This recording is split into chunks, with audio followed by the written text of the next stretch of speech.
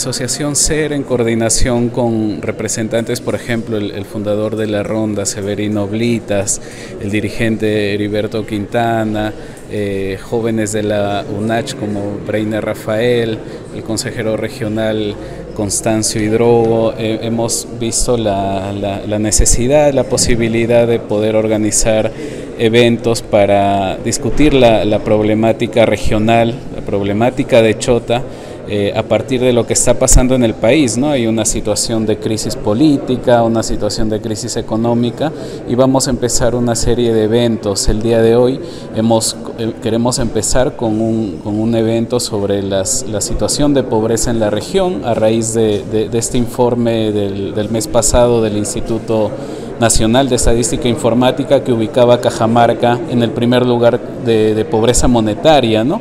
Y ya por varios años seguidos entonces, eso nos, llama la atención para ver qué se está haciendo y qué se puede hacer.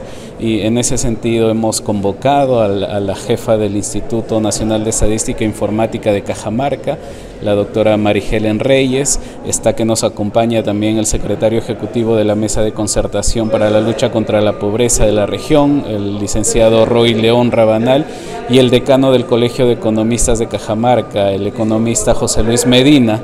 Entonces queremos a partir de sus, de sus, de sus participaciones, de su análisis, ver qué, qué, es lo que se puede hacer, ¿no? pero también con la participación de la juventud, qué es lo que está pensando la juventud y qué plantea la juventud de Chota al respecto también.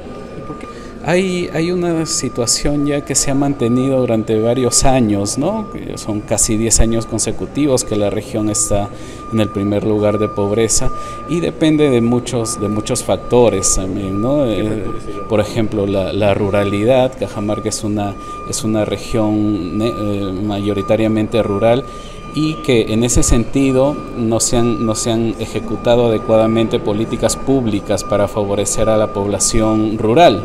¿No? Eh, hay, hay, una, hay una eficiencia de las políticas públicas que se están ejecutando porque si, si, se, ejecutaran adecuadamente ya la situación hubiese cambiado, ¿no?